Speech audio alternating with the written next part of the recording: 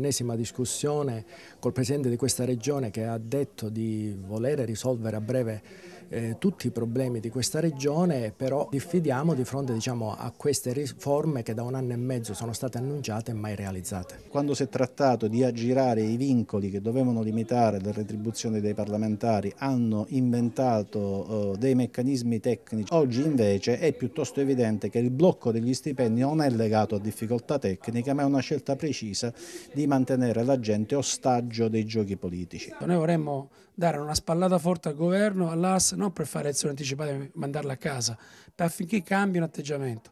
Ma se non cambia atteggiamento, nel fronte attenzione, nel mobilitazione, se ne vadano pure a casa. Ma vi auguro la capiscono in tempo, come noi abbiamo capito da tempo, di assumere i problemi dell'economia, del sociale, del lavoro, dell'amministrativa come fattore principale a cui dedicare tutto il loro tempo.